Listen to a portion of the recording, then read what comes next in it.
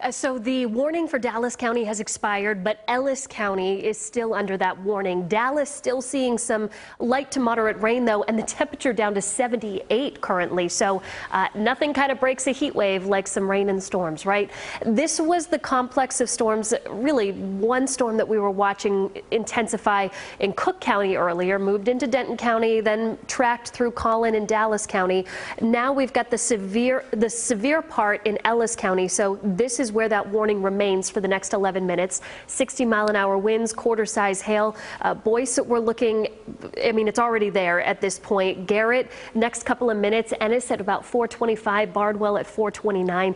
The warning only goes until 430, but they may continue this a little farther to the south. So if that happens, Rankin at 436, 440 for Rice, and then we would be looking at Corsicana getting in on this rain and maybe some stronger storm activity, possibly quarter size hail and 60 mile an hour winds by 454.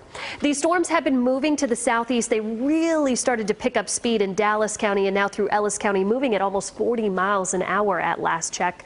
We've got some storms moving into portions of Parker County, Wise County, uh, even Jack County as well. But we're more concerned with storm activity out to the west for later tonight.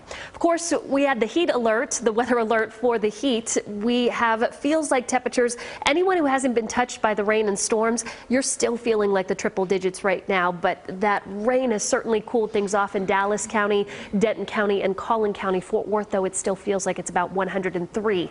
These alerts are set to expire at 8 o'clock tonight. We're not expecting the National Weather Service to extend these into Thursday or Friday we may get more advisories as we make our way into the weekend and certainly next week. But for now, what we're watching for, of course, we've got the storms moving through Ellis County right now.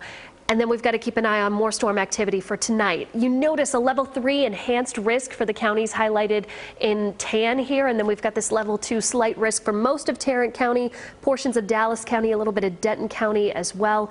Uh, we're watching for dry line storms developing out to the west. You've got this boundary right here, the dry line starting to move in. So you've got some storms developing there. And what we're watching for, that storm development moving in to the west. And uh, I think, you know, we start to watch around 9, 10 10 o'clock tonight. Some models suggesting it could be a little bit closer to midnight, but particularly to the west of 35, I think that's where the worst of it will be with damaging winds, potentially up to 75 mile an hour winds and some large hail as well.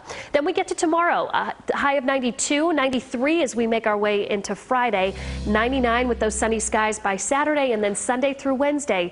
Forecast high ranging from 100 to 104.